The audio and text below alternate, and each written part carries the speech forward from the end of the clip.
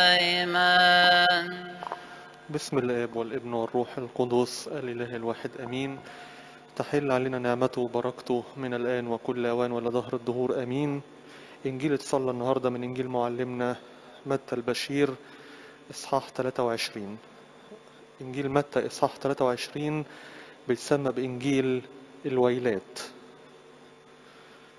يقول لهم كده ويل لكم أيها الكتبة والفريسيون المراؤون. ليه مراؤون؟ كانوا دايما بيهتموا بالخارج ودايما الخارج عكس الداخل. اهتمامهم الأول هو إيه؟ هو الخارج. تنظيف الكؤوس من الخارج. التنظيف ال- ال- الأطباق اللي بياكلوا فيها من الخارج. القبور مبيضة منين؟ من الخارج. طب الداخل؟ دايما بيبقى عكس الخارج. عشان كده قال لهم المسيح المراؤون المظهرية أو الشكلية في العبادة. عشان كده مرة جم يسألوا المسيح يقولوا له كده لماذا يأكل تلاميذك بأيد غير مغسولة؟ يقولوا له أو أيد دنسة أو نجسة. قال لهم كده ليس ما يدخل الإنسان هو اللي ينجسه لكن إيه؟ ما يخرج من الإنسان ذاك ينجسه. وشاور لهم على النقطة المهمة قال لهم لأنه يخرج منين؟ من القلب. أنا عايزكم تهتموا بالإيه؟ بالداخل القلب. أنتوا دايما باصين على اللي بره ومهتمين باللي بره لكن المهم إيه؟ ما يخرج من القلب. ومرة تانية عاتبهم المسيح بعد معجزة آه، شفاء المولود أعمى. لما قعدوا يحاوروا المسيح ويقولوا للمولود أعمى إن اللي فتح عينيك ده رجل خاطي يقول لهم كده في الآخر لو كنتم عميانا لما كانت لكم خطية. يعني لو قلتوا إن إحنا عميان محتاجين نفتح أنا هشتغل معاكم. لو كنتم عميانا لما كانت لكم إيه؟ خطية. طب المشكلة في إيه؟ ولكن الآن تقولون إننا نبصر فخطيتكم باقية. دي مشكلة الإنسان أو مشكلة كل واحد فينا إن أنا دايما أشعر إن أنا إيه أبصر جيدا وما اهتمش بالإيه بالداخل. دي كانت مشكلة الكتبة والفريسين يشعرون إننا نبصر. المسيح اداهم الحل قال لهم قولوا بس إن أنتوا عميان وأنا هشتغل معاكم.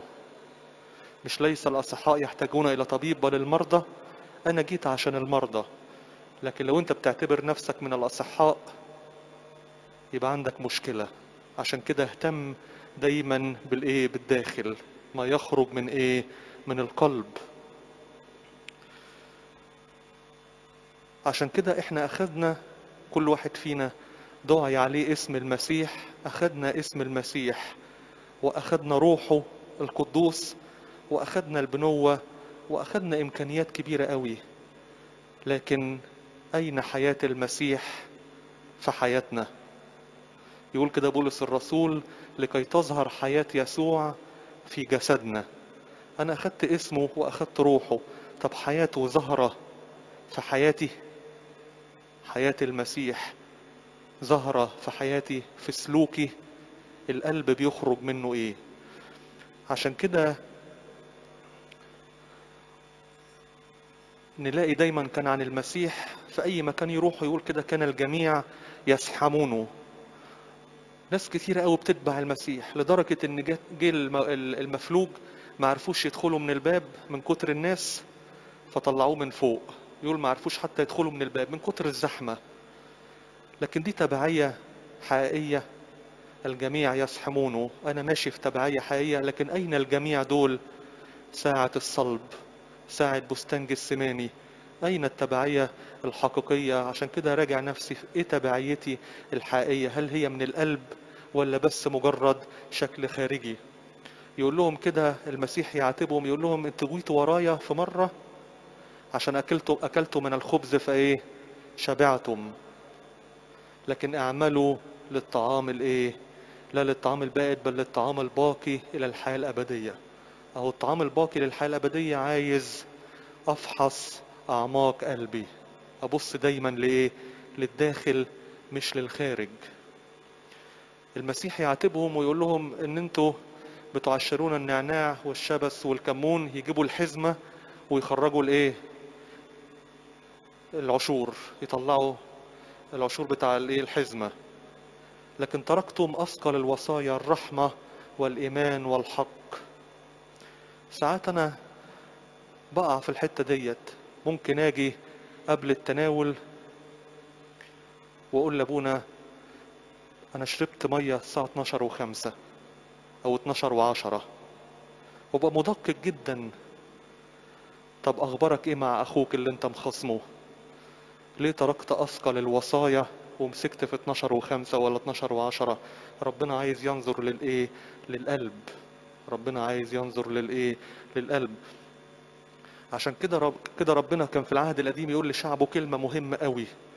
كان دايما لو بتقروا في العهد القديم تلاقوا دايما ربنا يقول لشعبه تقدسوا. تقدسوا لأني أصنع في وسطكم عجائب. بس هصنع في وسطكم عجائب لما إيه؟ لما تتقدسوا. مرة شعب إسرائيل راح هزم أريحة. أريحة دي بلد كبيرة قوي. وبعد هزيمته لأريحة وانتصاراته دخل بلد صغيرة اسمها عاي. صغيرة خالص لكن انهزم أمام عاي. فيشوع فضل يصرخ لربنا إزاي يا رب؟ ده إحنا لسه منتصرين على أريحة البلد القوية. ننهزم قدام بلد صغيرة. قال له لأن في وسطك إيه؟ في وسطك حرام يا إسرائيل. في خطية مستخبية جوه. مش هتعرف تنتصر إلا لما تطلع اللي إيه؟ اللي مستخبي في القلب. طول ما هو جوه في القلب الشيطان هيبقى ليه نصر عليك.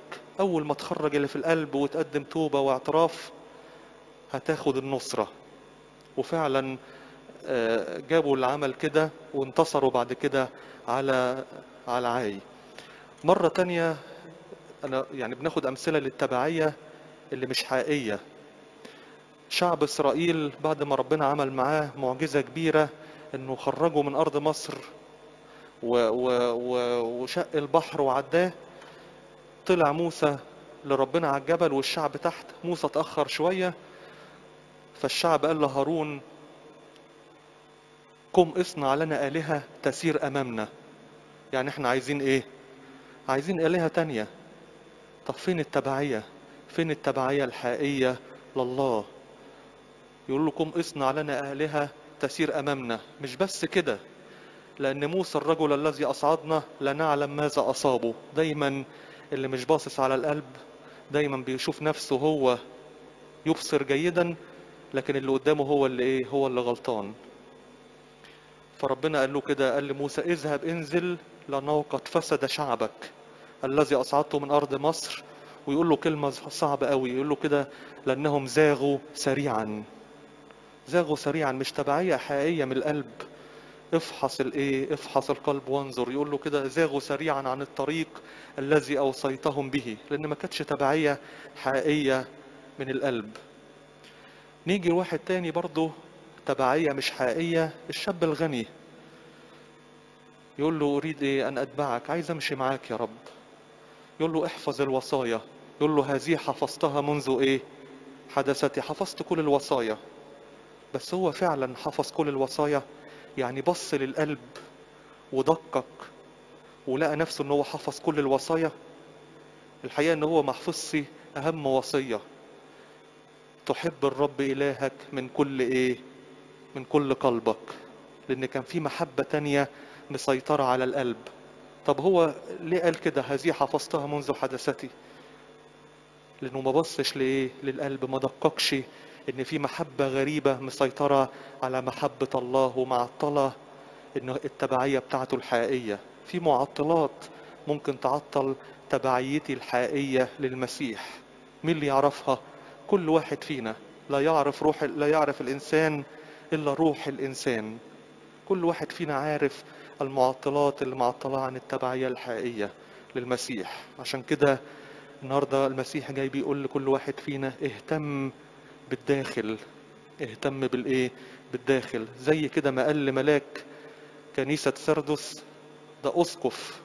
يقول له كده أنا عارف أعمالك. أنت ليك اسم إنك حي بالاسم بالشكل. وأنت إيه؟ وأنت ميت. أنت ليك اسم ليك شكل.